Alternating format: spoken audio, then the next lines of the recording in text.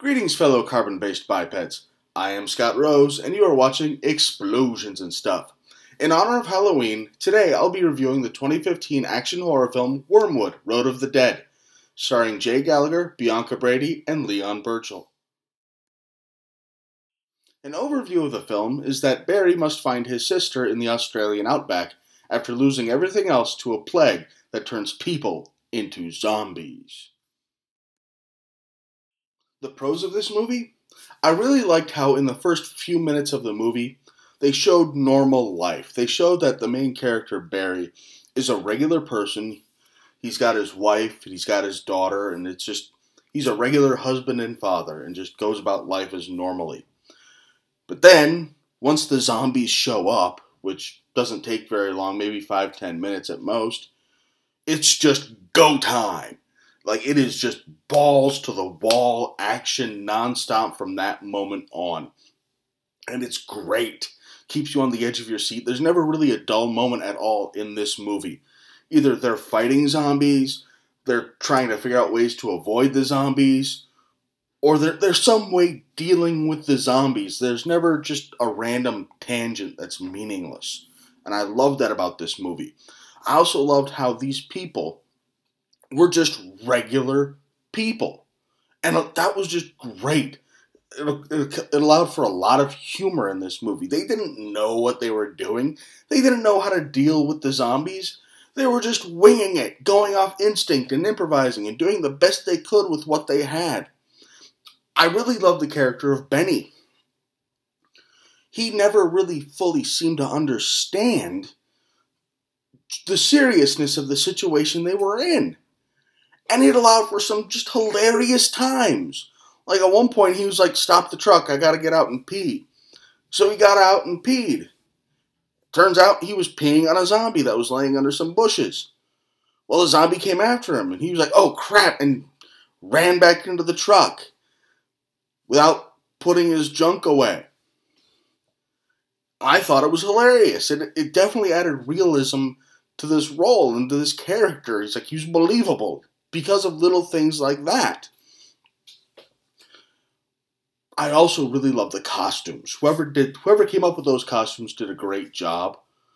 I mean, at one point the survivors put on this battle armor that they threw together and it really did look like they just grabbed a bunch of stuff that was in this person's garage, like football shoulder pads and a hockey goalie mask and just motocross gear and it was it really looked like they just threw it together with crap they had lying around, which in the situation they were in is exactly what would have happened. And it looked great and it looked battle worn, like there were scuff marks and scratches and dings. It looked great. The music in this movie was also just fabulous and was used beautifully. All it did was enhance the emotions that you were supposed to feel at the time. If you were supposed to feel sad, the music made you sadder. If you were supposed to feel angry or excited, the music made you more angry or more excited. It was just very well used and well utilized. It fit the theme perfectly. The makeup was great too, especially with the zombies. Whoever did that makeup design and designed the look of the zombies did an amazing job. It looked great. And it wasn't cliche stereotypical zombies where it's like, oh, well, lips missing and there's teeth showing. No, it, it looked really good. The cons of this movie? Well, first of all, they used a good bit of shaky cam, which I just don't like. They say people say that shaky cam's used to add excitement and adrenaline to action scenes, but it just makes it hard to focus on what's going on. Also, I didn't like the whole use of digital squibs that they did. When you have a movie that's so dark and gritty and it looks so realistic, and then you have blood squibs that look almost cartoonish, it just takes away from the final pit from the final product. And in this case, it hurts the suspension of disbelief. Made it harder to believe, you know, this is real and makes it a little more difficult to get caught up in the movie. Another thing I didn't like was how they just conveniently happened to run into the truck that had Barry's sister in it. I mean, the whole plot of the movie was them trying to find Barry's sister. And then, oh, there she is in that truck right in front of us. We better go get her now. Ooh, convenience. Another thing I didn't like was how, at, at one point in the movie, towards the beginning, in the first half hour, Barry's wife and daughter turn into zombies, and he has to kill them. When he kills his wife, it's it happens off screen. You just see him aiming at her and firing, and that's it. Then it cuts to her, and she's got two nails in her head. But when he has to kill his daughter, the audience, the viewer, has to sit there and watch as a father aims a nail gun and shoots his daughter in the head with a nail gun.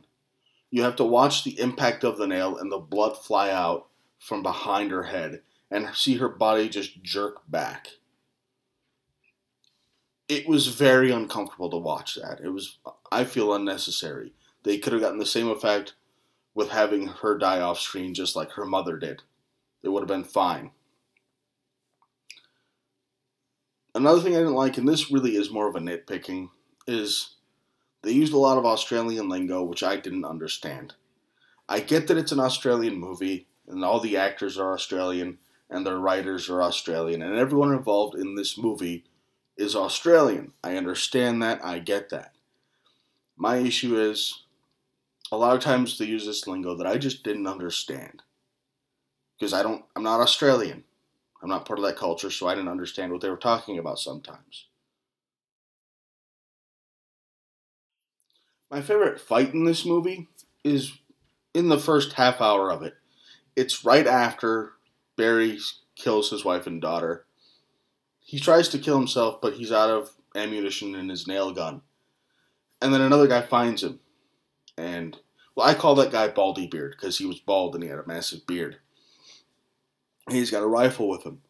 Well, Barry takes the rifle away from him, goes to put him, puts the barrel of it under his chin, goes to shoot himself, and then Baldy Beard punches him in the face and takes the gun back, and then the two of them start fighting.